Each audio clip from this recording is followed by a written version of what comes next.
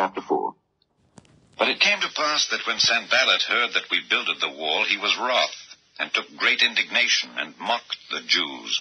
And he spake before his brethren and the army of Samaria, and said, What do these feeble Jews? Will they fortify themselves? Will they sacrifice? Will they make an end in a day? Will they revive the stones out of the heaps of the rubbish which are burned? Now Tobiah the Ammonite was by him, and he said, Even that which they build, if a fox go up, he shall even break down their stone wall. Hear, O our God, for we are despised, and turn their reproach upon their own head, and give them for a prey in the land of captivity. And cover not their iniquity, and let not their sin be blotted out from before thee, for they have provoked thee to anger before the builders. So built we the wall, and all the wall was joined together unto the half thereof, for the people had a mind to work.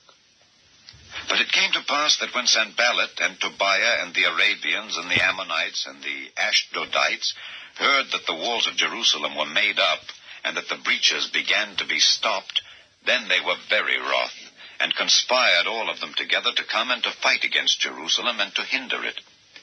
Nevertheless, we made our prayer unto our God, and set a watch against them day and night because of them. And Judah said, The strength of the bearers of burdens is decayed, and there is much rubbish, so that we are not able to build the wall.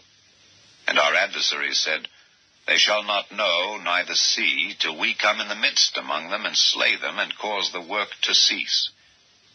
And it came to pass that when the Jews which dwelt by them came, they said unto us ten times, From all places whence ye shall return unto us, they will be upon you.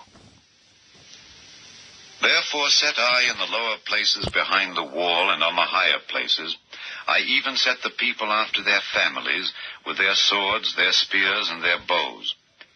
And I looked and rose up and said unto the nobles and to the rulers and to the rest of the people, Be not ye afraid of them.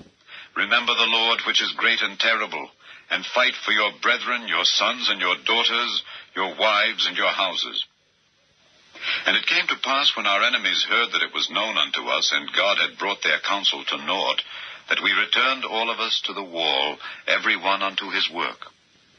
And it came to pass from that time forth, that the half of my servants wrought in the work, and the other half of them held both the spears, the shields, and the bows, and the habergeons.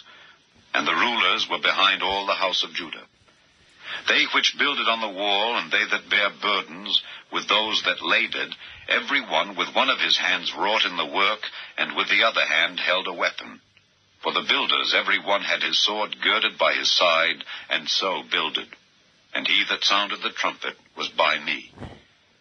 And I said unto the nobles, and to the rulers, and to the rest of the people, The work is great and large, and we are separated upon the wall, one far from another. In what place therefore ye hear the sound of the trumpet, resort ye thither unto us. Our God shall fight for us.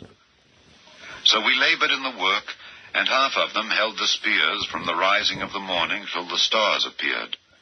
Likewise, at the same time said I unto the people, Let every one with his servant lodge within Jerusalem, that in the night they may be a guard to us, and labor on the day.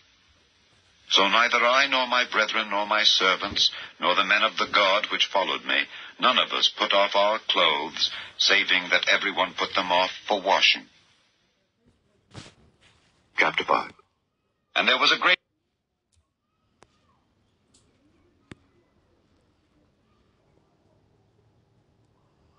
Chapter 4 But it came to pass that when Sanballat heard that we builded the wall, he was wroth, and took great indignation, and mocked the Jews.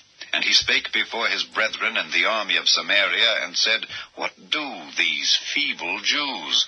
Will they fortify themselves? Will they sacrifice? Will they make an end in a day? Will they revive the stones out of the heaps of the rubbish which are burned? Now Tobiah the Ammonite was by him, and he said, Even that which they build, if a fox go up, he shall even break down their stone wall. Hear, O our God, for we are despised, and turn their reproach upon their own head, and give them for a prey in the land of captivity. and cover not their iniquity, and let not their sin be blotted out from before thee. For they have provoked thee to anger before the builders. So built we the wall, and all the wall was joined together unto the half thereof, for the people had a mind to work. But it came to pass that when Sanballat and Tobiah and the Arabians and the Ammonites and the Ashdodites heard that the walls of Jerusalem